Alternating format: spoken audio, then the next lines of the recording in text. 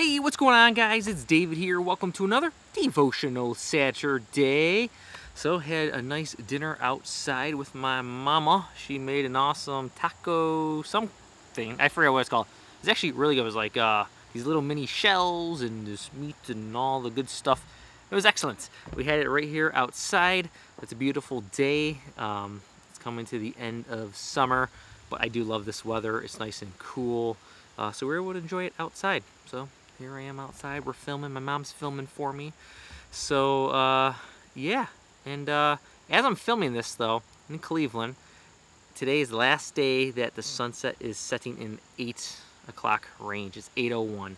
And then tomorrow will be 7.59. And it just keeps going down from there.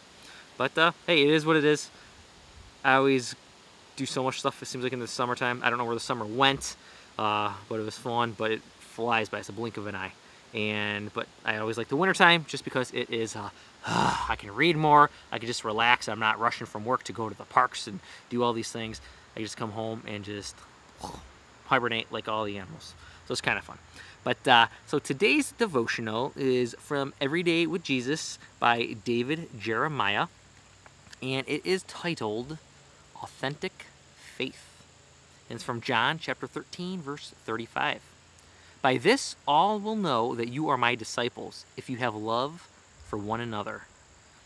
In the first century, there were many religious groups with which one might identify, and they were all known for something different. The Pharisees were known for their strict adherence to the Torah, the laws of Moses. Sadducees were known as the political party among the Jews. Zealots advocated for the overthrow of Rome by violent means. Samaritans would worship only on Mount Gerizim and consider only the five books of Moses to be from God. And then came Jesus and his followers. They had no geographical, political, or zealous agenda. They were mostly lower class people. At first, they were known only as the Way. Later, they were known as Christians. Was that their only distinction? A name? No. Jesus told them if they were his true followers, they would be known by the love they had for one another. This was totally new. A religious movement based on love, like the love Paul describes in 1 Corinthians chapter 13. That brand of love still applies today. What should distinguish Christians from the world? Authentic love. Love from God, from one another, for our enemies, and for our neighbors. That is the hardest part to do. If someone harms you or anything, or harms your family, friends, you always think you want to get revenge and get back to them, and I can't forgive them, and how dare they, I hate those people. But we can't hate, we gotta love. We gotta not act like the world, because that's what the world does. We gotta love one another. As Jesus says, you know, the greatest command is to love the Lord your God with all your heart, with all your mind, with all your soul, and with all your strength. And the second is like it, love your neighbor as yourself. I think we all love ourselves, but we have to deny that love and give it away. So as you go about this week, think about people who have hurt you, who have done things for you. Uh, that's my neighbor, Wayne. We're gonna wave to them. And Rosie, is that Rosie? Wait, no.